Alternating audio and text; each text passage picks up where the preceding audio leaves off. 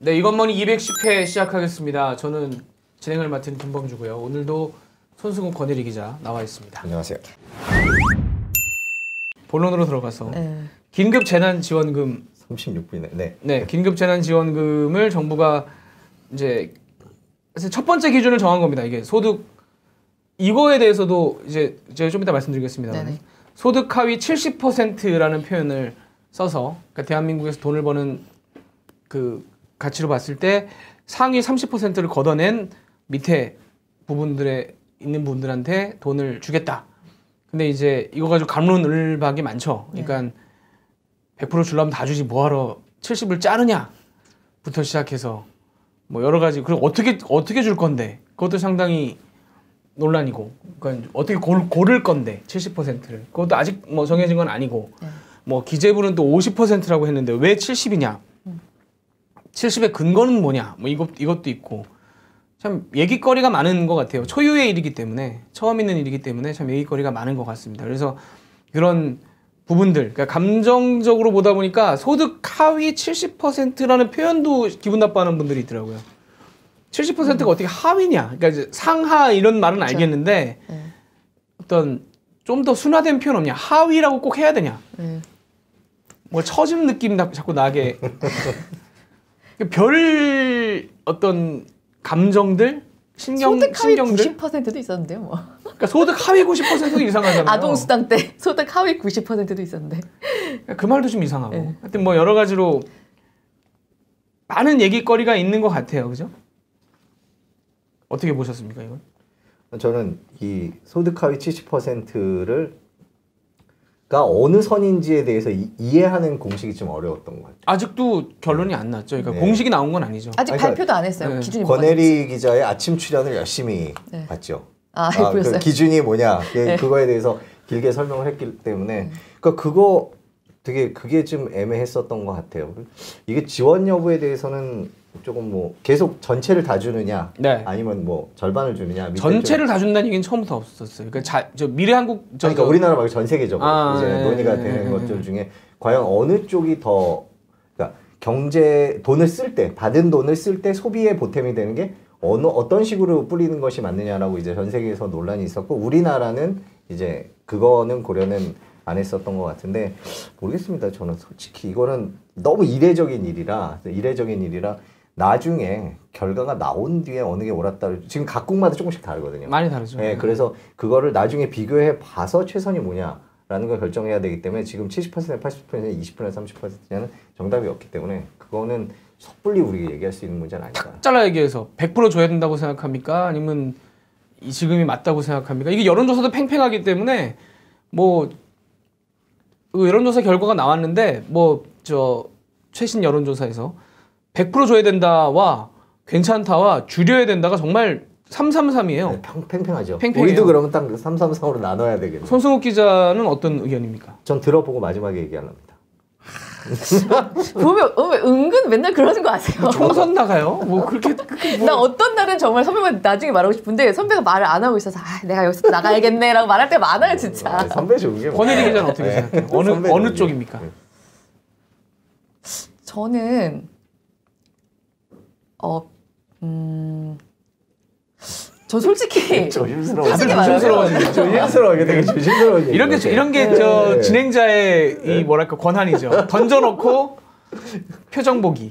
근데 어, 약간 저도 다 약간 비슷할 것 같아, 얘기를 한 저도 사실 취재를 하고 네. 좀 기사를 쓰면 생각이 많이 다 달라진 것이 있어요. 네. 그러니까 어 사실 아주 그냥 그냥 그냥 까놓고 말씀드릴게요. 네. 그 그동안 우리가 그 사실 이런 이런 뭐 몇 퍼센트까지만 뭘 준다 이런 주로 복지 수당 같은 경우에는 사실 어 저희처럼 그냥 직장인들 중에 많은 분들은 거의 해당이 없죠. 그리고 뭐 선배도 맞벌이시고 다 한데 이런 거 받을 수 있었던 적이 있었던 적이 거의 사실 한 번도 없어요. 근데 그래도 제가 그동안 기사를 쓰면서는 아 당연하지. 내가 어쨌든 뭐 월급을 받는데 뭐 뭐, 뭐 내가 낸 세금으로 저뭐 부족한 분들한테 가는 게 당연하죠. 저는 솔직히 진짜 생각해 왔어요. 착해서가 아니라 뭐 원래 그런 거니까 그런 거고 그게 당연하다고 생각을 했는데 이번에는 제가 그 돈을 받고 싶어서가 아니라 비용의 측면에서도 그냥 다 주는 게 맞지 않았을까? 왜냐하면 이게 지금 이거 그 코로나 19 사태 관련해서 나오는 첫 수당이 아니에요. 그렇죠. 사실 예. 그 어떤 지자체들에서 나가는 것들도 있고 중앙정부 차원에서도 사실 계속 지난번에 예. 예, 추경에서 이미 결정이 된 부- 내용들이 있죠. 그건 또 네네. 예. 그래서 그 이미 다른 수당들이 있고 그 수당들이랑 중복이 되는 상황이에요. 중복되는 거죠. 예. 이런 상황에서는 사실상 이런 이 어, 소득 하위 70% 하위란 말이 좀 기분 나쁘지만 어쨌든 국민의 70%를 가려내는 사실 시간, 행정 비용 그리고 이런 어떤 저기 논의의 어떤 과정으로 인- 인해서 나는 또 다른 불필요한 비용 이런 것들을 감- 생각했을 때 차라리 액수를 줄이고 다 주는 게 사실 전체 국가가 부담해야 하는 비용으로 봤을 때 그게 더 효과적일 수 있다는 생각이 들었어요. 제가 5만 원을 받든 10만 원을 받든 상관없습니다. 저는 안 받아도 돼요. 안 받아도 되는데 현재 상황에서는 그 비용이 어, 떻게 생각하면 더 드는 상황일 수도 있다. 예를 들면 지금 뭐 그런 얘기 하잖아요. 100만 원이 아니라 4인 가족 이상 100만 원이 아니라 1인당 20만 원씩 다 주세요. 그러면 사실 4인이면은 그냥 다 주기로 했으면 80만 원이에요. 지금 이 이런 어떤 그 디베이트가 없고 이런 그 국민을 7대 3으로 나눠야 되는 그 비용이 들지 않는 상황에서도 그냥 4인 가족은 80만 원, 100만 원 될 거. 근데 좀 소득이 정말 어려 어려거나 지금 어떤 굉장히 그 신용 경세가 빠질 수 있는 영세 자영업자들 같은 대책들은 다른 것들도 있고 사실 앞으로도 나올 거거든요.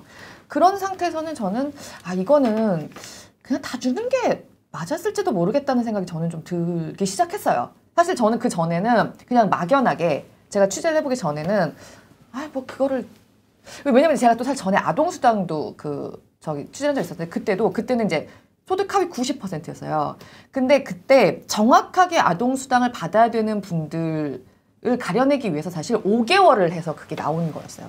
5개월을 가려서 할 수 있는 방법. 근데 그때 어차피 대상자, 그런 아동수당을 받을 수 있는 아이가 있는 그 대상자가 200만인가 정도밖에 안 됐거든요.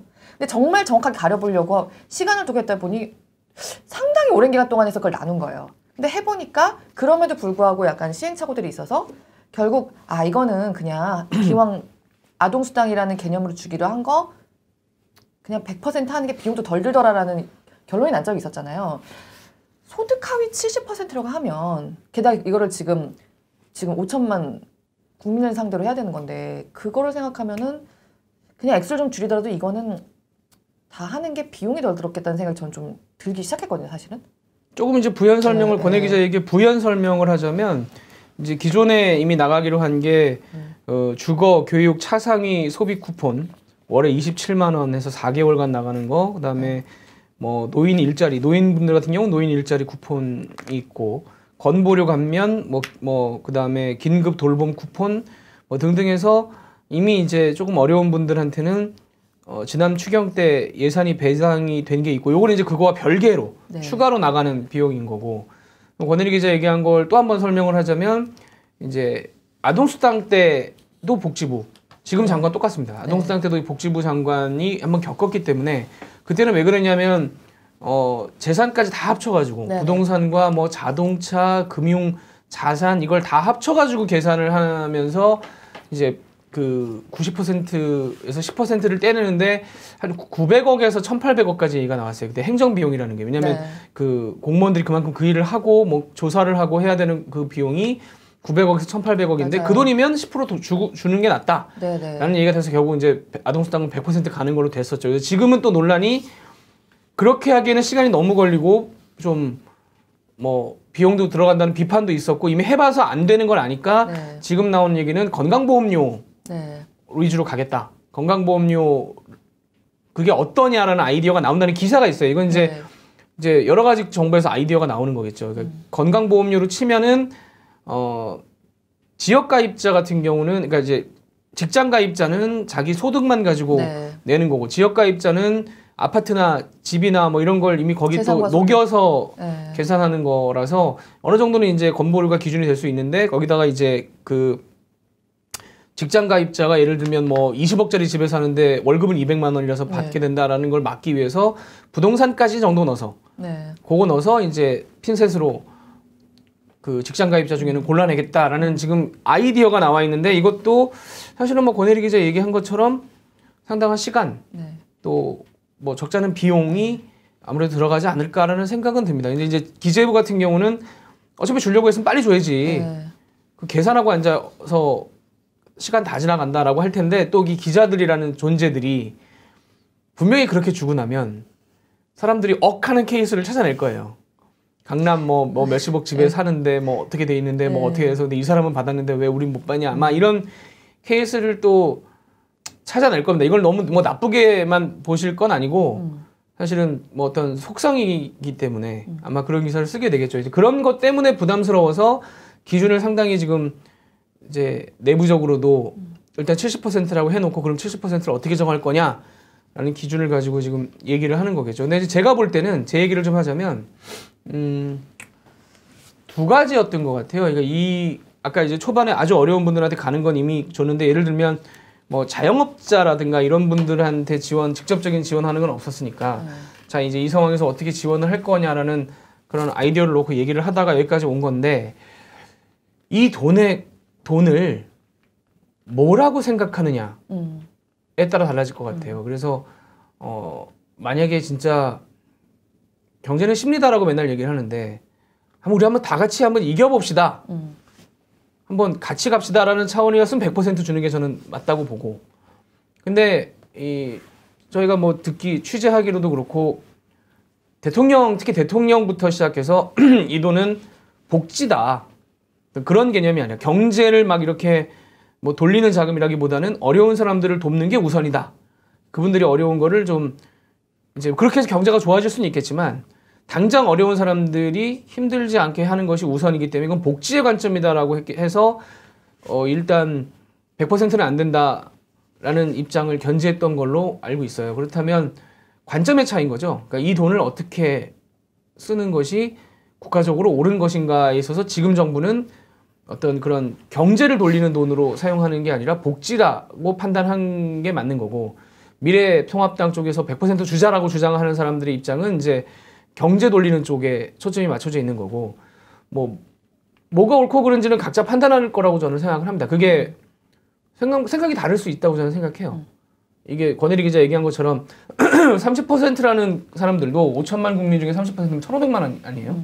적은 숫자가 아니잖아요. 그러니까 이 사람들 입장에서는 당장 댓글도 그런 댓글도 있고 이제 받게 된 사람들 입장에서도 아 그래도 뭐 다 주는 게 서로 감정상 낫지 않겠냐. 왜냐면 예를 들면 지금 이제 돈만 놓고 치면 기준이 4인 가구가 월에 712만 원 버는 사람이 기준인데 물론 많은 돈이죠. 712만 원 굉장히 많은 돈이지만 예를 들면 713만 원이 돼서 못 받은 사람이 있을 거 아닙니까? 네.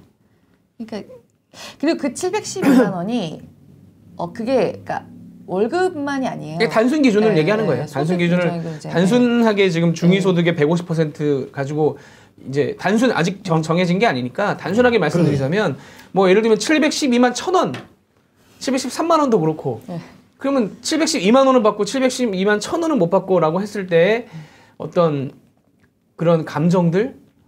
에이 뭐야 이거? 약간 이런 것도 분명히 사람이니까. 그러니까 권혜리 기자 얘기한 것처럼 뭐 안 받겠다라고 하는 사람도 분명히 있을 거고 그런 생각도 존중합니다만은 사람이 또 사람의 감정의 동물이다 보니까 아동수당도 그랬잖아요. 사실 사실은 90% 합리적으로 생각할 때 상위 10%는 애 키우는데 그렇게 크게 뭐 어렵지 않으면 양보하시는 게 맞지 않아요라고 하는 게 사실은 합리적으로는 맞는데 10% 입장에서는 야 뭔데 그렇다고 그걸 또 걸러가지고 그건 뭐 대단한 돈이라고 그걸 안 줘라고 생각하는 것도 나오는 제 거니까 기억에 제 기억에 정확하진 않은데 그때는 오히려 당시 자유한국당 쪽에 맞아요. 제 이름은 모르겠는데 근데 그 사람 그분이 뭐라 그랬냐면 제가 성함 정확히 기억이 안 나는데 자기는 그 나눠주는 게 맞다고 생각했는데 비용 들어가는 거 보니까 내 생각이 틀렸다라고 나중에 하고 전체 그 지급에 찬성을 했었어요 그때는. 그러니까 저는 아까도 말씀드렸지만 이게 저도 사실 취재면서 좀 바뀌, 바뀐 건데 저는 이제 말씀하신 대로 경제적인 관점, 복지적인 관점 그런 걸 떠나서 비용의 측면에서 봐서 근데 아동 수당 때만큼은 네. 비용이 들어가지 그쵸. 않게 하려는 정부의 그렇죠, 그렇죠. 생각이 있어요. 근데 이제 그렇게 되면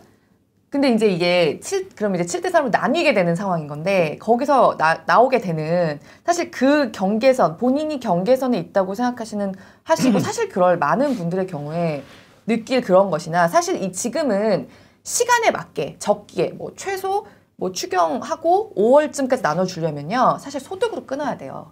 재산 부동산까지 해가지고 하더라도 그보다 더 걸릴 수 있고 시간을 적게 하려면 그냥 소득을 끊어야 돼요. 자산이 얼마 되든지 간에. 근데 지금 정부가 지금 분위기에서 이거 소득을 끊겠다. 월급으로 끊겠다라고 말할 수 있는 분위기인가. 저는 저는 그런 점이 좀 근데 지금 네, 나오는 얘기는 소득 네, 소득의 네. 부동산 보유를 얹어서 그 정도로 두 가지 정도로만 판단하는 쪽으로 지금 가는 속도를 내는 것 같은데 뭐 어쨌든 그래서 아마 아동수당 때만큼의 비용과 시간이 걸리지는 않을 것 같긴 해요. 속- 정부도 그렇게 시간을 끌면 안 된다 안. 안 되는 사안이라는 건 분명히 알고 있으니까 근데 이제 그럼에도 불구하고 예를 들면 소득 기준도 작년 소득일 거란 그렇죠. 말이에요. 네. 올해 소득이 아니고 그렇죠.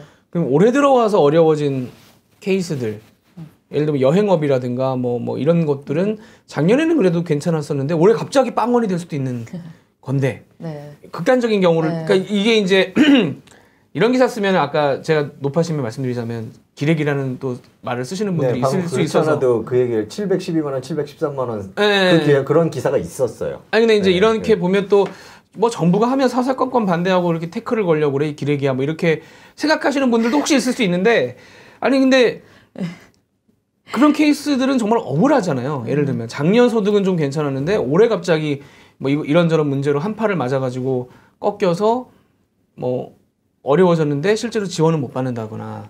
그래서 그러니까 저도 답이 없어요. 왜냐면 이게 초유의 사태고 처음 주는 거기 때문에 예를 들면 이재명 지사가 전 그 주민에게 주겠다라고 했을 때 부천시장인가가 페이스북으로 한번 그러지 말고 자영업자 어려워진 사람들 줘야 되는 거 아니냐 그랬다가 이재명 지사가 그럼 부천에 돈 안 준다. 이래 이래가지고 한번 또 또 한번 사달이 난 적이 있잖아요. 근데 그렇게 감정적으로 들어갈 문제가 아니고 근데 또 그 댓글을 또 또 그 기사에도 댓글이 굉장히 또 싸움이 많았어요. 그 그래서 그 돈을 받아가지고 일부만 또 주겠다는 얘기. 자영업자는 또 일부니까 자영업자만 힘드냐 일 못하는 사람들도 많은데 뭐 예를 들면 그러니까 이게 되게 소유의 일이고 상당히 복잡다단한 지금 현상이 벌어지고 있어서 딱 무자르듯이 이게 정답이고 이게 네, 아니고라고 맞아요. 말할 수는 없는데 그만큼 반대로 또 논란이 클 수밖에 없는 얘기는 계속 나올 수밖에 없는 저는 막연하게 생각했을 때는 사실 이재명 지사가 10만 원 다 주겠다고 할 때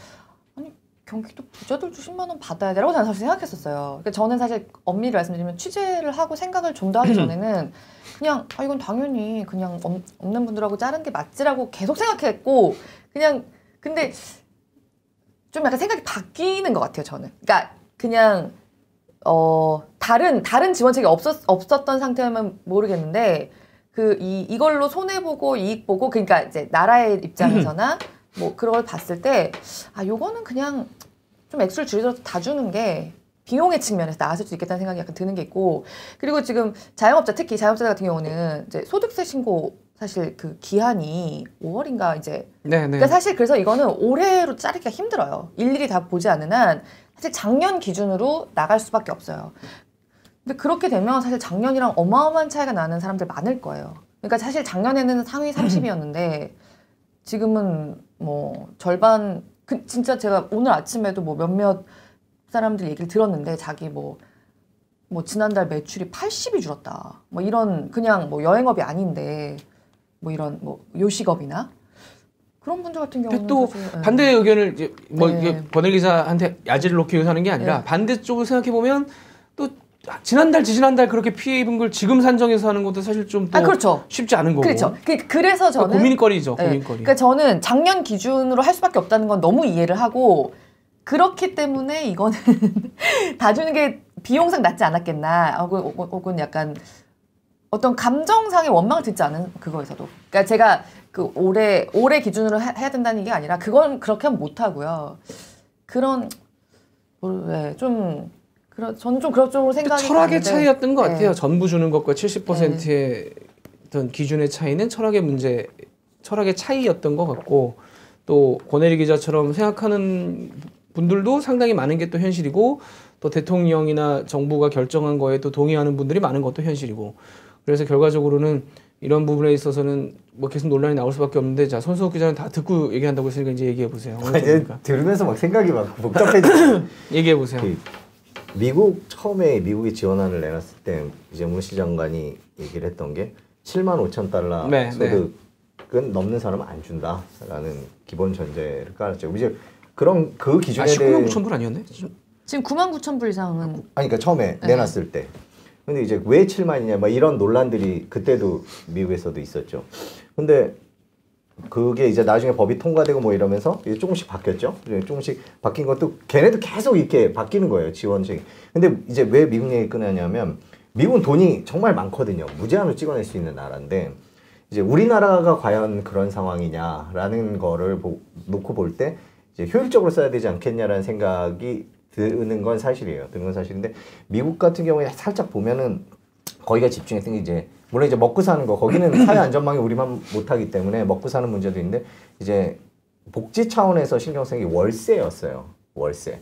그러니까 월세를 못 내는 경우가 그렇겠죠. 생길 경우에 음. 미국이 갖고 있는 그 약간 트라우마에 가까운 게 금융위기 당시에 그 모기지, 그 부동산과 관련된 문제였거든요. 그래서 만일에 지금 이 경제 위기가 얘네들 월세를 못 내게 될 경우에 그게 예전처럼 다시 그 뭐 MBS니 이런 것들까지 문제가 확산이 돼서 경제가 회복할 수 없는 나락으로 떨어질 수 있다는 공포가 좀 있었던 것 같아요. 그래서 그런 월세 문제에 바탕을 두고 월세를 내야 되는 사람들한테는 반드시 그 돈이 가야 된다. 그러니까 시- 먹고 자는 의식주에 focusing을 한 거거든요.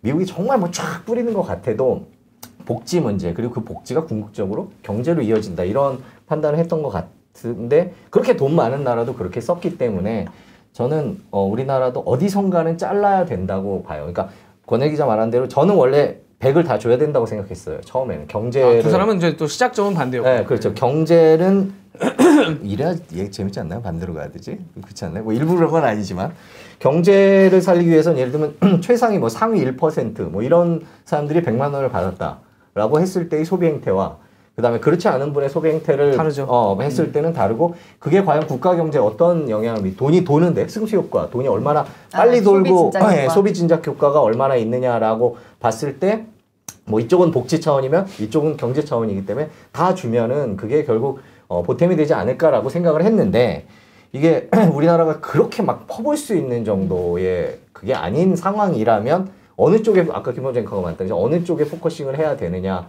라고 놓고 봤을 때 어, 저는 어느 선에서 끊기는 끊어야 된다고 생각을 했습니다. 그리고 근데 저는 좀 70보다 조금 더 밑에서 끊었으면 하는 생각은 좀 있어요. 액수를 좀 늘리고 그런 생각을 기재부 입장이군요. 기재부 네, 입장. 그렇죠. 복지를 한다면 이제 그런 생각은 했었는데 저 역시 처음에 했던 생각이 완전 그 제 생각은 아닙니다. 이제 그게 이제 학자들 얘기인데 그게 전적으로 틀렸다라고 장담은 못 하겠어요. 그러니까 이거는 실제로 각국이 어떻게 했는지를 지켜보고 맞습니다. 예. 그, 그 형태에 대해서 그런 것도 있었잖아요. 한동안은 2000년대 초반에는 뭐 저기 낙수 효과 그래갖고 뭐 대기업이 잘 돼서 그 네, 돈이 네, 내려야 네. 된다라는데 한 2010년대부터는 이제 그게 저 스위스에서 하는 거 뭐죠? 무슨 포럼이죠? 다보스, 어, 다보스 포럼 거기서 그 저기 나오는 결과가 오히려 분수 효과 쪽으로 하면서 이제 경제 트렌드가 그렇게 바뀌면서 실제는 이렇다 이렇게 확 바뀌지 않습니까? 그러니까 지금도 어떻게 뭐가 정답이다라고 생각할 수는 없는데 저는 개인적으로는 어, 재정 한정된 속에서 복지 개념을 어, 더 강화한다면 그리고 이번 코로나 19 이후의 세상을 예상할 때 그러니까 미국이 바- 어떻게 바뀔 거냐라고 얘기할 때 미국이 사회 안전망이나 이런 걸 더 강화하는 쪽으로 갈 거거든요. 그게 이제 우리 쪽 방향일 네, 텐데 네. 우리가 하고 있는 방향일 텐데 그런 측면에서 본다면 그렇게 그쪽에다 힘을 주는 것도 괜찮지 않을까 저는 개인적으로. 결국은 뭐 저는 손수국 기자나 권혜리 기자 의견이 다 저는 저도 사실 결정을 못 하겠어요. 그러니까 그러니까 제가, 질문을 던진 이유는 저도 하루는 이랬다가 하루는 이랬다가 그러니까 여론조사가 이렇게 나뉠 수밖에 없는 것 예, 그런 생각이 들긴 해요. 들긴 하고. 근데 이제 더 나가서 생각을 해보면 이렇게 돈을 만약에 이제 주기로 결정했으니까 음. 주기로 결정 국회 가서 또 논의를 해서 돈을 결국은 뭐 허락을 받아내야 되겠습니다만 어쨌든 간에 저는 중요한 건 돈을 주기로 한 건 좋은데 어, 돈을 준 다음에 실제로 이게 어느 정도 효과가 있었는가 음. 어떤 결과가 있었는가에 대해서는 추후 연구가 네. 이루어져야 되죠. 분명히 있어야 된다고 생각합니다. 분명히 분석을 좀 객관적으로 왜냐하면 이게 결국은 뭐 외국에서나 우리나라에서도 요새 논란이 붙은 이 기본소득 관련한 논란으로 이어질 거고요. 네, 그렇죠. 전 세계적으로 실험을 얼떨결에 하게 된 거라고 생각하거든요. 기본소득 얘기가 굉장히 많았잖아요.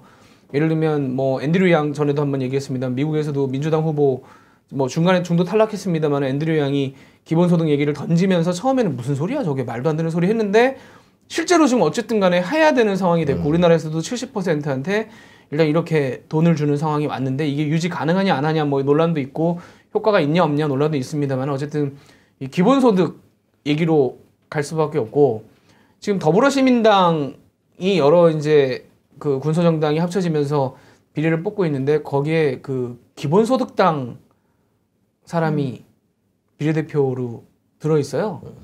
20대 겁니다. 제가 알기로는 대표였는데 그래서 저는 사실은 비례대표 명단을 보고 비례대표당 당 대표가 20대 이 여자분이죠. 네, 네, 라는 게 이게 네. 뭐지? 그래가지고 그분 인터뷰하고 좀 이렇게 찾아봤는데 생각이라 생각을 굉장히 많이 하신 분이더라고요. 20, 그러니까 나이가 정말 저는 요새 많이 느끼는 게 나이가 중요한 건 정말 아니다, 아니구나라는 생각이 들더라고요. 이, 이분은 뭐 기본소득을 대표한다라고 얘기를 해도 뭐 그렇게 그게 잘못된 건 아니겠다. 그게 옳고 그름을 떠나서 그게 가능하냐, 말이 되냐 이걸 떠나서 뭐 어쨌든 간에 그 굉장히 앞순번이에요.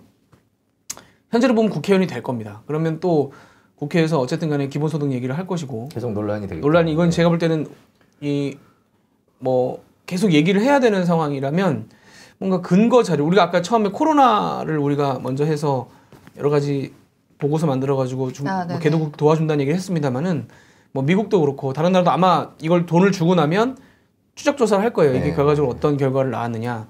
저는 굉장히 재밌는 재밌다는 표현이 좀 그렇습니다만은 이걸 지켜보는 이런 걸 지켜보는 사람 입장에서는 의외의 실험이 굉장히 빨리 이루어지고 있- 전 세계적으로 실험이 빨리 이루어지고 네, 어디서 어떤 식으로 실험을 하고 그러니까 계속 요즘 시뮬레이션만 돌린 거 아닙니까? 예. 근데 이게 진짜 실험을 하게 될 줄은 몰랐죠. 그러니까 전혀 네, 생각 전혀 이렇게 될 못했죠. 줄은 몰랐죠. 근데 참 뭐든지 우발 모든 게 우발적인 건데 약간 간 떨리는 근데 왜 왜요? 콩알댐. 아 왜? 진짜 시중에 돈이 엄청 많이 풀리고 있잖아요. 그렇죠. 그건 그렇죠. 그러니까 우리나라뿐만 아니라 세계적으로 음, 음. 사실 이거는 어 경제 회복기에 접어들면 이건 사실 몇 년 뒤에 인플레 같은 거는 사실 그냥 상정 성공하는 거라서 저같이 지금은 간이 작은 사람은 지금 몇 년 뒤를 아 고민할 그러니까요. 아. 전혀 저도 아니라서 지금은 지금은 당연히 해야 된다고 생각하는데 이거는 그냥 이런 위기가 와- 왔, 왔기 때문에 어쩔 수 없이 수반해야 되는 미래이긴 한데 간 떨린다 그런 생각이 그러니까 들죠. 그게 금융위기 이후에 유동성으로 쫙 이어졌지 않습니까? 근데 이제 그 유동성을 이제 연준이 미국 연준은 조금씩 빨아들이고 있었잖아요. 이제 그런데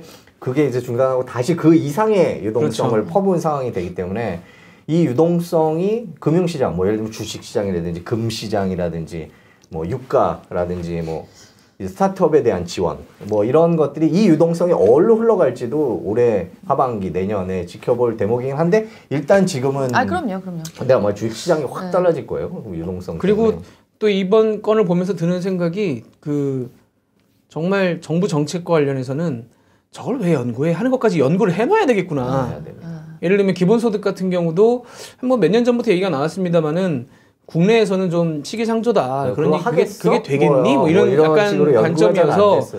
연구가 그렇게 아주 활발하게 이루어지는 분야가 아니었는데 뭔 지금 생각해 보면 그거 만약에 권위자가 계셨다면 그렇죠. 이거 70% 끊어야 돼요. 80% 어. 끊어야 돼요. 이거에 대해서 딱 제가 볼 때는 말이죠 뭐 이런 딱 사람이 거의- 있었다면 그러니까 조금 더 우리가 얘기를 좀 들어볼 수 있지 않았을까라는 생각이 들면서 참 전문가가 예, 다양한 연구가 어쨌든 간에 국회에서도 많이 하죠. 국회에서도 뭐 예산 정책처라든가 이런 데서 많이 입법 조사처나 이런 데서 많이 하고 뭐 정부 차원에서의 많은 연구소들도 있는데 상당히 좀 다양한 연구를 사전에 시행을 해놔야 되겠다. 이게 세상에 이런 일이 벌어질지 누가 알았겠습니까? 그런데 사실 70%도 지금 뭐 따지고 보자면 왜 70이야 라고 하면 대답할 수 있는 사람이 없어요. 그렇잖아요. 왜 80이 아니고 왜 60이 아니고 70이야? 그러니까 기재부가 50이었고 여당이 80이어서 싸우다가 70으로 지금 맞춰진 거잖아요. 결과적으로는 그런 상황이기 때문에 근데 이제 급한데 지금 왜 70이냐고 그걸 왜 따져? 뭐 이런 사람도 분명히 나올 것이고 속도도 중요하거든요. 속도 중요하죠, 지금은. 그렇기 때문에. 근데 어쨌든 코로나도 극복할 것이고 이 상황도 지나갈 것이고 지나가고 나면 우리가 근데 우리가 좀 약한 부분이 제가 볼 때는 지나가면 있는 거 걔- 괜찮아 그래 잘 잘 했잖아 잘 우리. 그리고 그냥 어, 이러고 그럼. 지나가는 약간 그런 것들 근데 이제 예를 들면 미국 같은 경우에 그때 그런 정책을 했던 분들이나 뭐 가까이 계셨던 분들은 책을 꼭 씁니다.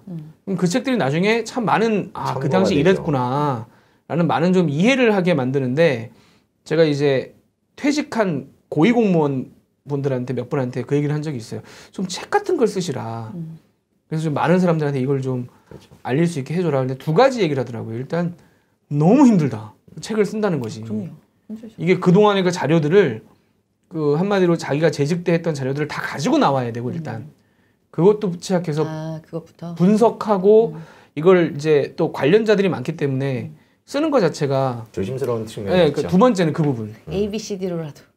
그러니까- A, C, B, C 당시 A, C, B 과장은 어. 이게 나는 솔직하게 썼는데 누군가 그너 잘났다 새끼야. 뭐, 뭐 이럴 수도 있고. 아, 왜막왜왜뭐 논란이 붙을 수도 있는 거고.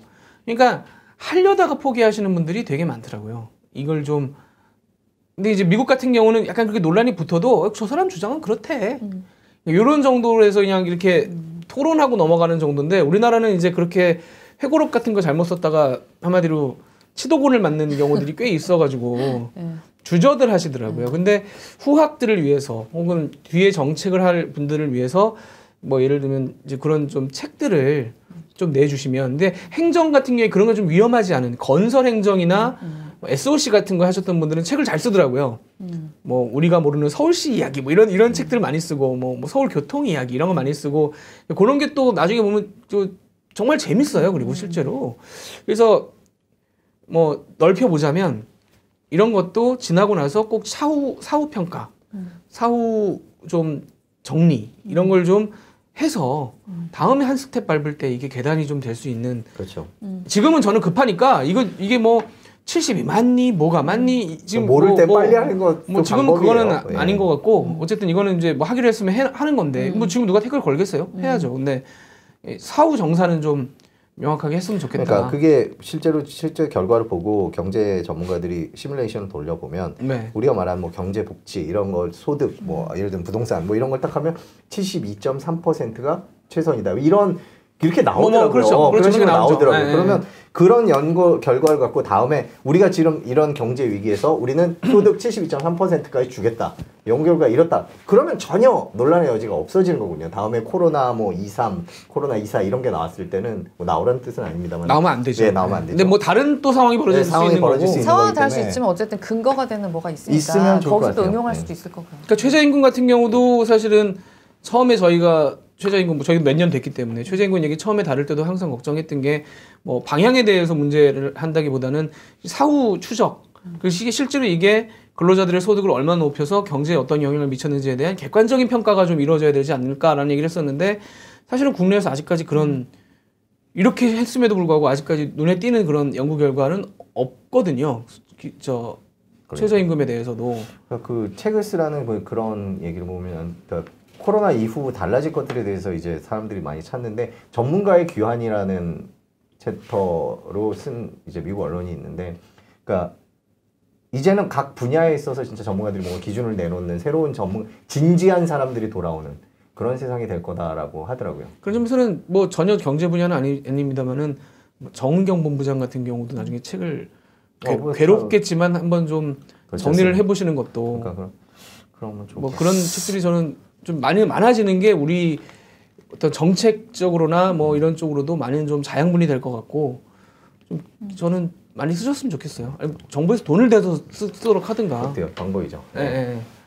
자, 하여튼 아, 저요 얘기 하나만 그 네, 제가 오늘 할래다가 못했는데 네, 네, 네. 그- 영어를 뭔가 하나까지 갖고 오셨어요. 네, 폴리티코라는 네, 미국, 미국의- 네, 언론에서 그 코로나 이후에 달라 코로나 이후는 거의 전쟁 1, 2차 세계 대전 이후 그 전후가 다르듯이 그렇게 왜냐하면 수, 수만 명이 죽 수십 수만 명이 죽을 것이고 그 이상이 아팠기 때문에 그래서 미국에서 그런, 예, 어제 트럼프 대통령이 10만 명 죽, 10만 명 죽으면 성공. 24만 명까지 이라고 얘기했는데 얘기했다가. 그래서 달라질 것들에 대해서 정리해 놓은 게 있어서 이제 그거를 몇 가지를 네. 말씀드리려고 했는데 시간 관계 아니요, 해주세요. 괜찮아요. 아니요, 네. 지금 그 너무 길어서. 아니요, 잠깐 해주세요. 괜찮아요.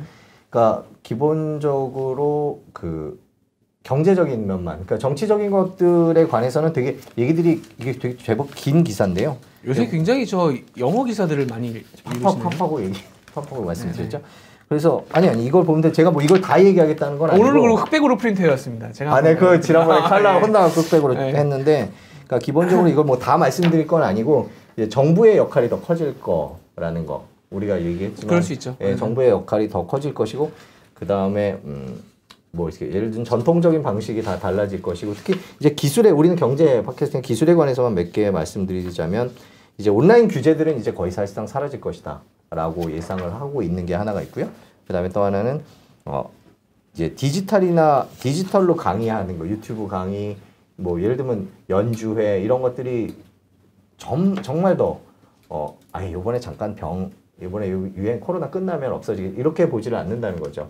비용을 적절하게 내고 그거에 대한 대가를 얻는 거. 그럴 수 있죠. 그런 게 일상화 될 거다라는 예상. 이게 어떤 한 명의 예상이 아니라 분야별 전문가 네, 네, 서른 네. 명의 얘기를 모은 거거든요. 네, 네. 근데 우리가 알다시피 이렇게 연주나 뭐 연주회 아니면 이런 걸 보다 보면 결국 필요한 건 VR이잖아요. 네, 네. 그러니까 앞으로 VR이나 이런 그 가상현실에 관한 기술이 가장 빨리 발달할 것이고 그 다음에 또 저기 의학, 이 원격 의료라고 그러죠. 지금 우리나라에선 계속 논란이 우리나라는 지금 되고 있는 심각하죠. 상황이죠. 네. 논란인데 이제 다 미국 이게 미국 기사니까 미국 같은 경우에는 뭐 이런 것들이 이제는 뭐 일상화 될 것이다라고 얘기를 하고 있고 그다음에 이제 이건 우리나라는 사회 안전망이 뭐 그래 잘 돼 있는데 미국 같은 경우에 사회 안전망이 잘 안 돼 있기 때문에 이제 그런 문제들이 좀 달라질 것이다 이런 얘기들을 쭉 포함해서 이제 정부의 역할이 더 커질 것이고 뭐 그런 내용들을 쭉 정리한 게 있어서 혹시 기회가 되시면 보시면 좋지 않을까 하고 소개시켜 드리고 싶어 선거에 관한 것도 있어요. 전자투표가 이제는 일상화될 것이고 하루에 투표하려면 많은 사람들이 모여야 되잖아요. 그러니까 약간 시간을 두고 투표하는 그런 방식들. 외국은 요새 이런 얘기 많이 하더라고요. 네. 코로나 이후의 세계. 지금 자기들 아직 내가 제가 볼때 어, 빨라요. 초창기인 예. 것 같은데. 코로나 이후의 세계는 지금 우리가 얘기해야 될 것 같은데. 코로나 이후의 세계에 세계에 대한 대해서, 예, 근데 우리보다. 사실은 더 큰 충격을 더, 네, 더 더 입어서 그럴 거예요. 깊은 네. 충격을 지금 받은 상황이라서 그래서 이 기사를 보면 앞부분에 보면 공동체에 관한 얘기들이 되게 많아요. 그러니까 얘네들이 실제로 느끼는 거는 약간 웃는 표정을 짓고 예, 공동체에 관한 얘기들이 되게 많아서 미국 사회가 진짜 우리는 어떻게 보면 약간 잘 극복하면서 충격이 덜한 걸 수도 있고 그래서 미국이나 이런 유럽 사회 같은 경우에 충격이 워낙 크기 때문에 어떻게 바뀌어야 되지? 라는 거에 대해서 이제 빠르게 준비를 하는 그런 모습인 것 같아서 이 부분에 대해서는 네. 한번 뭐 제가 근데 이게 영어를 아직 다못 읽었어요. 메인 뉴스 시간에서도 한번 고민을 해봐야 아, 될것 저희 같아요. 팀에서 어느 시리즈를, 정도는 시리즈를 준비하고 있습니다. 코로나 이후의 아? 세계에 네, 대해서 저희 팀에서 근데 경제뿐만 아니고 이제 지금 당장은 하기가 좀 아 어렵죠. 그럼요 준비를 뭐 지금부터 해서 코로나 그렇죠. 이후에 지금 코로나 이후 얘기하기는 조금 아니, 그러니까 미국이니까 정서적으로 가능한 기획은 거고 좀 생각하고 있는 게 있는데 네. 코로나 같은 지나가면 지금 이런 얘기 하면은 약간 예. 분위기가 아 지금은 네, 아직은 아니죠 그래서- 이건 제가 이거 그래서 미국 잡지라고 얘기를 음. 하는 거죠 저희가 아직 코로나 이후를 얘기, 달라질 거 얘기하기에는 조금 다소 이른감이 있다는 게 저 개인적인 생각 근데 개인적으로는 하여튼 예. 온라인 관련한 부분들은 많이 바뀔 것 같긴 해요. 어. 예. 여러분 되게 재밌는 거 재밌는 것도 있어요. 그러니까 여기 미국적인 기사인데 이제 미국은 애국심이라고 하면 그 군대를 떠올린다는 거죠. 그, 어, 어, 상대를 때려 부수는 군대를 떠올렸는데 여기 표현에 따르면 어, 미국의 군대는 바이러스를 죽일 수 없다.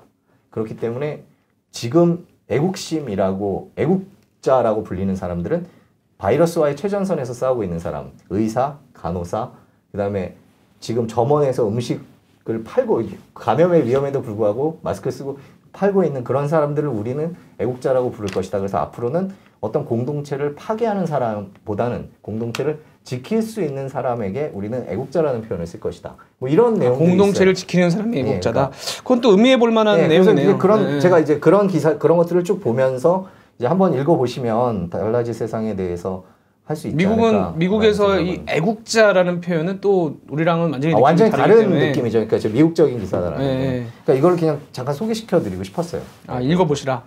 네, 아니 팝하- 제가 한번 팝하고 PPL인가요? 네? 팝하고 PPL인가요? 아, PPL은 아니고 제가 그 이거를 한번 싹 정리를 해서 그러면 손수호 기자가 싹 정리를 해서 팟빵 댓글에 올리시는 걸로 네, 한번 그 한글판으로 사람들이 읽을 수 있게. 네, 아, 아 근데 되게 기니까 제목만이라도 이렇게 아, 뽑아서 뭐 그것도 괜찮죠. 네, 예, 그래서 예. 한번 저희가 하도록 하겠습니다. 예, 영어까지 볼 시간이 없어가지고요. 네, 한국말 하기로 바빠가지고. 솔직히 어 저도 다 자세히 번역할 실력에 자신이 없어서 근데 아니 재밌을 것 같네요. 예, 한번 쓱 보면 많은 좀 진짜 미국 외국에서는 요새 이게 논란, 아니, 논쟁, 미국은 그러니까 논쟁이어서 자기네들 코로나 이후의 세계가 논쟁이어서 그런 상황인 것 같아요.